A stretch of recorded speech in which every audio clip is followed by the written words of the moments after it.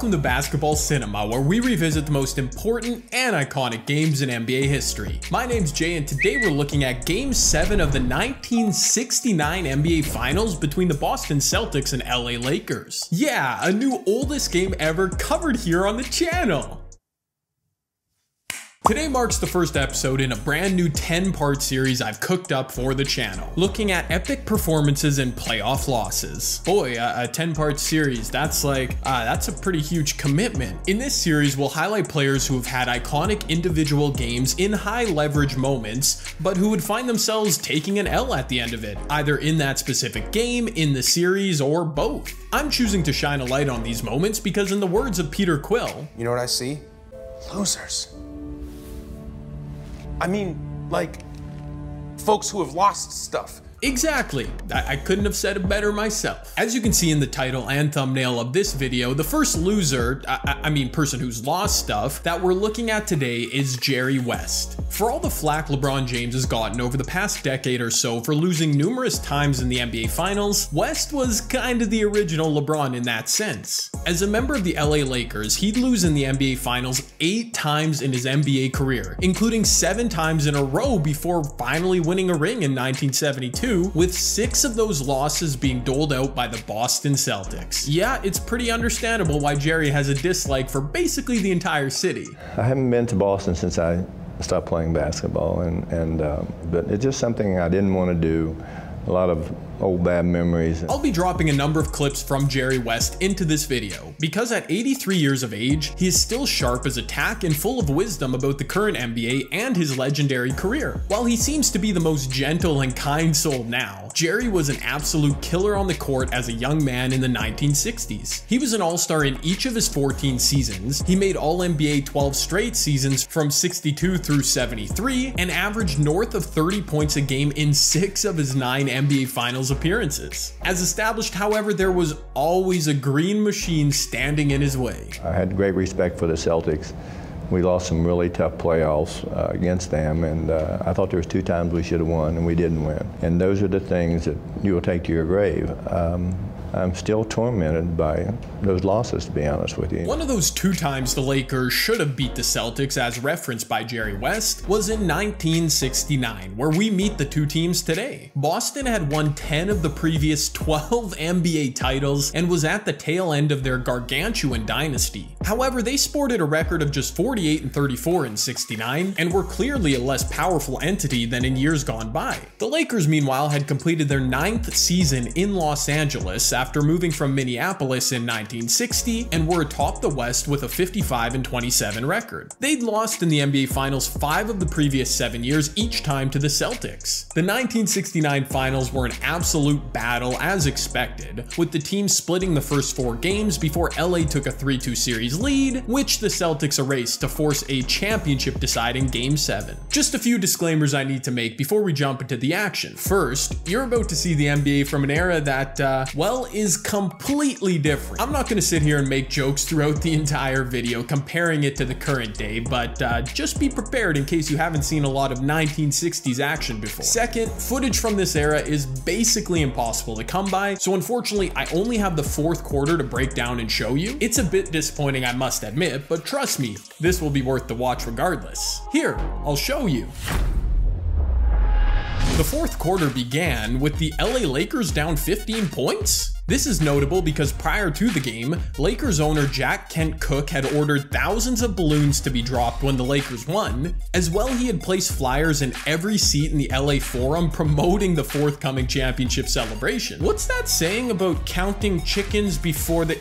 Never mind. It's also notable that Jerry West was playing through a leg injury at this point in the finals. He'd scored just 26 points in game 6, but was already up to 27 points through 3 quarters here in game 7. Anyways, Wilt Chamberlain outjumping Bill Russell on a jump ball, leading directly to an easy finish by Tom Hawkins for the Lakers. 35-year-old Sam Jones getting the Celtics on the board in the fourth, running off a free throw line dribble handoff from Russell, and fading away beautifully over Wilt. First look at our man Jerry West, who dribbled hard twice before pulling up with his signature smooth jumper. He was off, but the Lakers maintained maintain possession. Sam Jones would get whistled for his fifth foul of the game, sending Wilt to the line and sending Jones to the bench. And of course, Sam's fifth foul, not near as critical as Wilt Chamberlain's fifth foul. So uh, yeah, th- that was a brick. Also, yes, Wilt too was playing cautiously with five fouls of his own. Allow me to point out here that referees in 1969 were on one. I mean, they called literally everything.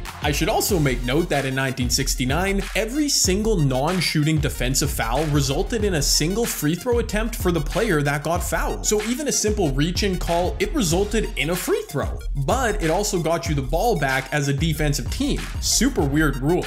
Anyways, Elgin Baylor looking super modern on this play, facing up against Bailey Howell, blowing past him into the lane where he hung and hit for two. The Celtics were in a running mood though, as Bill Russell bolted up the court at age 35, beating out the Lakers for a free dunk. Let's add more foul trouble to the mix, as Jerry West took a nice feed from Wilt in the post, getting hit by Russell near the rim, West to the stripe for a pair where he'd make one of two, while Bill would play the game out with five fouls. This is our first opportunity to see Jerry West in action, and what a treat it truly is. 1969 was a big year for the man known as Mr. Clutch, as artist Alan Siegel would design the NBA logo that we still have today using West as the prototype. On the court, Jerry would average 26 points, 7 assists per game, seeing his numbers dip just a touch with the addition of Wilt Chamberlain. One of the smartest minds we still have in basketball, Jerry West knew adding Wilt was something his Lakers needed to do to keep up with the Celtics. In this league, we talk about greatness of players, how many championships they win. Well, trust me, there's a lot of these great players, if they didn't play with the right people, they wouldn't win championships. And you, you need good fortune, you need great teammates, uh, you need good health, and that never seemed to happen for us. Even with 14 teams in the league at the time, the margins were so slim for putting together a championship winning team. Even in the final year of their dynasty, the Celtics boasted a roster which included five future Hall of Fame players, while the Lakers had just three. Like Jerry said, you need good teammates to win. Watch this possession with an eye on Bill Russell and Wilt Chamberlain. Not wanting to risk fouling out, Wilt looked as though he couldn't have cared less about playing defense on Russell. Meanwhile, Bill, for an entire possession, didn't once square up and face the basket. Ultimately, it didn't matter though, as Bailey Howell pulled up for a sweet deuce, giving Boston a 17 point advantage. Back the other way, a role reversal as now Bill Russell was the one playing some Olé defense, allowing a simple drop step finger roll from Wilt the Stilt. The 1968-69 season marked the arrival of Wilt Chamberlain aka the Big Dipper in Los Angeles. He had been traded from the 76ers and was given a massive $250,000 contract you know, massive for 1968, Chamberlain reportedly butted heads with then Lakers coach Bill Van Breda Kolff, as well with Elgin Baylor, but remained friendly throughout his time in LA with Jerry West. Wilt had led the NBA in scoring for eight straight seasons to begin his career, but his final two in Philadelphia saw him swing below 25 points a game for the first time in his career. In his first season with the Lakers, the Stilt had adopted a seemingly more well-rounded game. My first seven years, I scored a lot of points. Then I stopped scoring on my own volition. Uh, I tried to do other things. I was asked to do other things, and that's what I did. For the last seven years, uh, it wasn't about points to me. It was about trying to do other other things. Even as his numbers were slowly beginning to decline, the 1969 playoffs were pretty shocking by Wilt standards. He'd averaged just 14 points a game alongside West and Baylor, but did continue to do so with his trademark efficiency. No, but one thing I do know, that all the years while I was usually scoring all those points, I was leading the league in percentile shooting. And that's also important because if you take all the shots, then you should be making the highest percentage. Wilt was an analytics nerd. Wow, real Hoopers are in shambles right now. The Celtics appeared to be in cruise control at this point in the fourth, ready to rain on the Lakers parade. A fellow by the name of Em Bryant controlling things on the perimeter, up to 18 points on the game with a deep jumper. Big Bill not exactly known for his offensive prowess at this point in his career, missing a short banker, Wilt tearing down the defensive board. Lakers unable to take advantage, however, as Elgin Baylor created space but missed from the baseline. We've seen him at the free throw line, but here's our first Jerry West field goal. Assessing the Celtics defense from the right wing, turning over his left shoulder with a silky fade just prior to the arriving double team from John Havlicek. Playing back to the basket from that area of the floor was a bit odd, but that jump shot looking timeless. Under 9 minutes remaining now in Game 7, the Celtics wisely wasting the shot clock, but a long launch from Bryant was off. The Lakers immediately going to their man with a plan, as 6'3 West working from the mid post on Larry Siegfried, pump faking and drawing a foul. Uh, that also, that was a very modern NBA move to get free throws. Jerry would connect on one of two, cutting the deficit down to 14. West was backpacking the Lakers at this point, fighting around a screen on defense to cleanly block the jump shot of Larry Siegfried. That defense led to offense in a real hurry. A little more than eight minutes remaining in the game. Erickson, they're looking for Jerry West. Howell switches off on West. Within 12 points. West forcing the Celtics to call timeout? I'm vibing with these Jerry jumpers, man. He really did have some game. Jerry West finally missed an attempt from the outside, but the Lakers secured the board. Tom Hawkins, though, was sent back by a clean Bill Russell rejection. The ball would eventually make its way to Wilt, who was hacked by John Havlicek and sent to the line. Johnny Havs with his fifth foul, but sending Chamberlain to the line was smart as he'd brick one of two. More West chicanery on the offensive end, drawing another foul, this time on Sam Jones, as the future Hall of Famer would foul out. He'd actually retire after this game, so uh, see you later, Sam. Jerry would make his free throw, bringing him up to 34 points in the game. Lakers now down 11. Another brick launched by Em Bryant, and after some ball movement around the perimeter, it was 34-year-old Elgin Baylor for the purple and gold connecting on a jump shot. Lakers deficit now cut to single digits. One of my great joys in putting together this video was going back to hear Jerry West talk about his relationship with the late great Elgin Baylor. Elgin passed away in March of 2021. S such a loss, man. Rest in peace. Jerry joined the Lakers as a rookie in 1960 at the age of 22, with Elgin the undisputed leader of the team and his elder at age 26. Over a three-year stretch from 1960 through 1963, Baylor would average 35 points, 17 rebounds per game, and he was only 6 foot 5. In addition, during the 1961-62 season, Baylor was called to active duty as a US Army reservist, meaning he was only available for games on the weekend. Like, are you serious, bro? Another fun fact is that Elgin coined the nickname Tweety Bird for Jerry West as a result of his unusually high-pitched voice. Well, I know against Baltimore, now we felt that uh, we would be uh, pretty effective against those guys because they are a good rebounding team. I gotta say, that one kind of makes sense. Together, Baylor and West would lose in the finals five times. Elgin suffered a knee injury that kept him out of the 1965 finals and was never quite the same afterwards. But a career highlighted by 11 All-Star appearances and 10 All-NBA nods is nothing to look down on. To just to be on the same court with someone I idolize, can you imagine sitting in the locker room and after a few years, I'm on the All-Pro team and I'm looking over there and I'm sitting looking at someone I idolized I get to play with every day? Very special. Unfortunately for Elgin and Jerry, Baylor would retire due to injury just prior to the Lakers finally winning a chip in 1972. John Havlicek was Mr. Reliable for these Celtics. A really nice looking jumper of his own to stop the bleeding a bit, he was up to 24 points in this game. This right here might be my favorite. Oh yeah, this is a game from a completely different era possessions. Jerry West dribbling up the court, using his right hand. St still using his right hand. He he's just pounding the rock. Oh, oh, he's shooting a 12 foot jumper and it's money. Uh, okay. Uh, where was his left hand? And where was the defense? Everybody in this arena knows where that ball's going when the Lakers get it to Jerry West.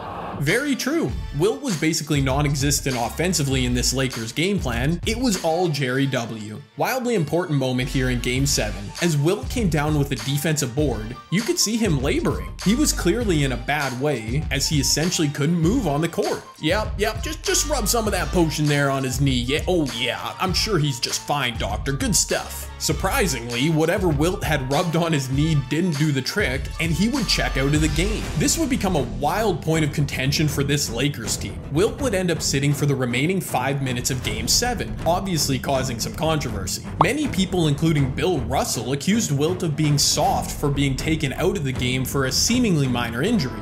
But Wilt insisted that he was indeed injured with a torn ligament in his knee. Years later though, Wilt would also claim he asked Coach Butch to be put back in the game, but the coach refused out of arrogance and because of the petty beef they had. Now I'm confused Wilt, were, were you actually hurt or was it the coach's choice? As far as I can tell, it was actually a combination of both. As we'll see, upon Wilt exiting the game in clear pain, the Lakers would go on a pretty big run. When seeing the Lakers with a shot at glory, Wilt insisted he was good to go, but at that point, Coach Butch felt he had a chance to stick it to Wilt by keeping him on the bench. So, like, uh, bad decisions all around, yep, and Butch would be fired following the season. Throughout that chaos, Jerry West found himself back at the free throw line where he was living like 2006 Dwyane Wade. He made both, and it was now a seven point game. After yet another miss from Em Bryant for the Celtics, I mean, who else would you expect the Lakers to go to? And Jerry West, five points now.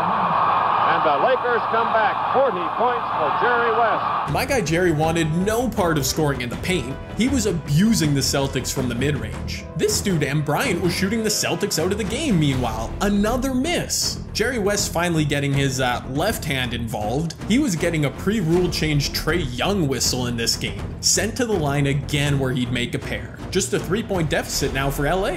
Wilt's replacement in the game was some super tall white dude named Mel Counts, who purely stroked a free throw line Jimmy to make it a one point ball game. The Forum in LA was rocking, by the way. They could smell victory. Bill Russell fumbling the bag in the clutch for Boston, missing from point blank under the rim. The Lakers were unable to take advantage, but on the ensuing Celts possession, Jerry West heroically put his body on the line as if he were Pietro Maximoff sacrificing himself for our guy Clint Barton on Sokovia. Under two minutes remaining, we finally get a big time Bill Russell play as he darted off ball defensively to disrupt a pass intended for Elgin Baylor under the rim. As I pointed out a couple times, 1969 would mark the final chapter in the Boston Celtics historic dynasty. Three years earlier in 1966, the Celtics beat Jerry West and the Lakers in the finals, giving former head coach Red Auerbach a championship retirement from coaching. Red would man the front office for the next, I don't know, million years in Boston as the one and only Bill Russell took over as head coach. But like, he was also playing at the same time. I don't even know, bro. That's amazing. The story goes that three former Celtics, Frank Ramsey, Bob Cousy, and Tom Heinsohn, all turned down the coaching job. Heinsohn felt that he couldn't handle the often grumpy Russell and suggested Bill himself take over as player coach. At the time, his promotion to coach didn't garner full public support. I think it was the first time I ever remember that a coach or a manager has been appointed and there was questions about his qualifications, which irritated me to no end because I knew it was strictly a racial thing because uh, they hire coaches uh, every day that uh, no one says uh, publicly anyway, is he qualified? Or that much discussion about what kind of coach you make. Fortunately, though, Bill wasn't in the business of making folks happy. It didn't bother me because I didn't care what they thought, really. And uh, those questions, I just said, well, okay, you ask your questions, I'm not going to worry about it. You get you ask your questions, you get a silly question, silly answer, and we get that over with and I go about doing what I want to do. Bill Russell was the first black coach in North American pro sports and the first one to win a championship. He's also commanded unparalleled levels of respect from NBA greats since his time in the league, including, of course, Jerry West. Because he brought a, an element to the game that was about winning. Uh, the greatest winner we've ever seen in our league. He was just a a, a, guy who f- kind of flew under the radar, but he had a, like a regal like effect on the game. He just he was just incredible and uh, more importantly a friend and someone that I've greatly admired for all these years. Back to the clutch moments of game 7. Keith Erickson nearly coming up with a big time steal for the Lakers, ending up poking the ball into the hands of Don Nelson, who'd flick up a jumper from the free throw line, getting a fortuitous bounce home. Jerry West staring down a Celtics double team elected to rise and fire, but he missed short. Under a minute remaining now, Boston turning the ball over with an off ball foul. It was a bit tough to see here, but a big time play from Bill Russell. 40 seconds to go. Mel Counts drives on Russell. Can't get it up, and Russell takes it away. Huge block from Bill. I can only imagine what Wilt Chamberlain was thinking from the bench as he watched uh, Mel Counts attempt a shot from behind the backboard with a game on the line. Larry Siegfried would make a pair of free throws to put the Celtics up five. A- and then. Now it's a five point lead with 22 seconds to go. It's stolen by John Havlicek. A brutal turnover in the clutch by Johnny Egan, and definitely not the first super clutch steal by the late great John Havlicek. The Lakers forced a steal steal and Egan made a layup to cut the Celtics lead down to two, but that was it. For anyone hoping for a new story in the NBA, it wasn't meant to be. An 11th ring in the span of just 13 years. In a losing effort in Game 7, Jerry West posted 42 points, 13 rebounds, and 12 assists on a bad leg. A truly historic individual performance by an all-time great. Such an impactful performance that Bill Russell would later say, Los Angeles has not won the championship, but Jerry West is a champion.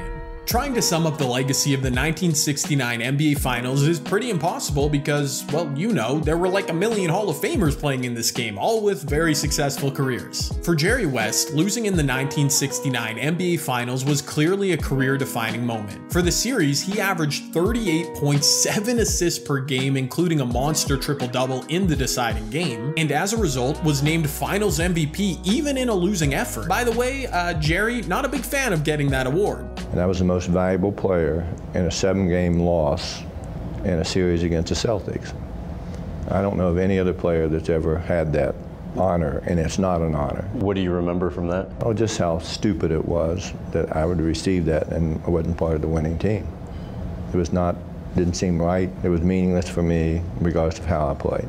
Again, I'll emphasize how thoroughly dominant the Celtics had been in the 1960s by pointing out that this was Jerry West's sixth time in eight seasons losing to Boston in the finals, and it had legitimately broken the man. I honestly wanted to quit. I didn't want to, and it, I was in a prime of my career, and I, I didn't want to play anymore. For me, I did some incredible things in the playoffs, and it never seemed to be good enough a couple of those games in particular, I replayed them, and regardless of how I played, I always blame myself for us losing. And that's a terrible burden to carry around with you. It's a terrible burden. It's honestly tough listening to such a great man recount the lowest moments of his life. But on the bright side, after losing again in the finals in 1970, this time to the Knicks, West and Wilt Chamberlain would power the Lakers to a finals victory in 1972, finally allowing Jerry to have some closure in his unbelievable NBA career. Meanwhile, after winning 11 championships in 13 years, including the latter two as player coach, Bill Russell was completely burnt out after 1969. He'd long battled with his own public perception in regards to how he was viewed as a basketball player in Boston, and as a result, he retired after the 1969 season,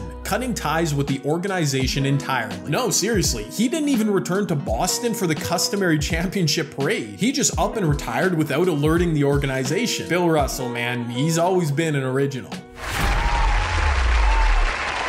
For each game covered here on Basketball Cinema, I'll be giving out three awards, beginning with the Clint Hawkeye Barton Award for Most Underrated Performer. I don't care. Which goes to Don Nelson. While the 1969 finals were dominated mostly by the combined six Hall of Famers on the court on both sides, Don Nelson flew under the radar and produced 16 points on 6 of 12 shooting in Game 7, including what was the game-clinching jump shot. Nelson would eventually make the Hall of Fame as a coach in 2012. The Rick Dalton award for most recognizable moment goes to Red Auerbach and Sam Jones talking about Jerry West's finals performance. I want to say that Jerry West was absolutely fantastic.